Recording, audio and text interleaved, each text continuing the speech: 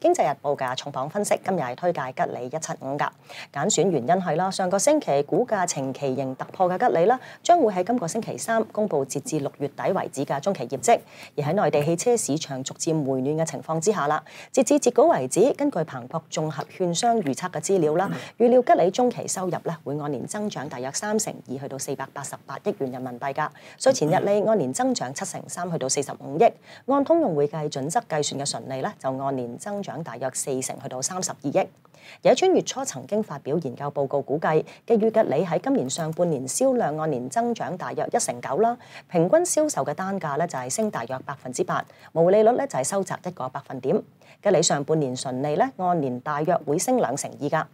野村認為上半年受到原材料成本壓力同埋芯片短缺問題困擾，吉利咧將會聚焦於改善產品組合，而並非咧係搶佔市場份額，以緩和利潤下行嘅壓力。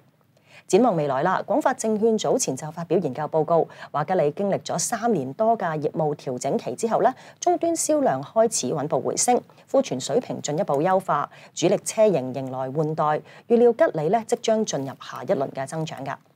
策略上啦，吉利嘅股價上星期咧呈奇形突破，或多或少預示咧業績有驚喜嘅機會會較高。如果按量度升幅去計算啦，更加有望向三十五蚊嘅水平進發噶。讀者不妨咧今日以吉利嘅開市價買入第一注，如果股價有機會回落去到二十七蚊以下咧，就可以加多兩倍注碼去買入第二注。短期目標睇三十一蚊啦，年底咧就係睇三十五蚊，不過跌穿咧二十四蚊咧就適宜止蝕啦。